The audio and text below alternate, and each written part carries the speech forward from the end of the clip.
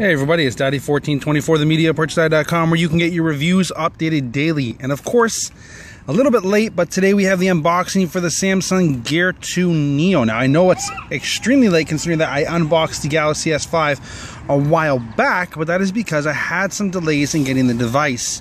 They were supposed to give it to me, then they said I wasn't eligible, and now finally, after about two months of battling with them, I finally have the Samsung Gear 2 Neo.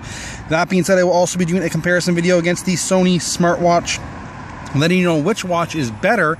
But today, the unboxing and a full review to come later on. Make sure to head over to the MediaPurchaseGuide.com reviews updated daily. First things first, remember to like, two thumbs up, subscribe, and of course, leave some comments down below. So I've cut off or ripped off the tape here just to provide any or prevent any distractions. And we'll open it up, and the first thing you see is the watch itself. And surprisingly, really nice. Uh, of course, you see the dedicated home button here. And I don't believe the Gear 2 has a camera, but I might be wrong. Actually, that does kind of look like a camera there. And then, of course, your charging on the back, your clip, and uh, it looks like a speaker on the side here.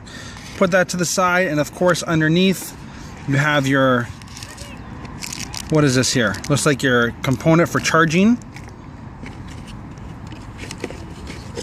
Charging cable along with the brick.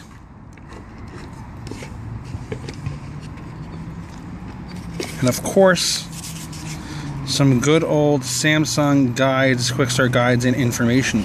So that's pretty much everything you get with the Gear 2 Neo. Do not lose this additional charging port or charging dock because you will need it to charge your device and the watch here itself. Like I said, a review will be coming at a later date as well as a comparison against the Sony Smartwatch 2. In the meantime, remember to keep heading over to my channel checking for new videos and head over to the MediaPurchaseGuide.com or TMPG Reviews. Daddy1424 signing off like usual. Peace. Love.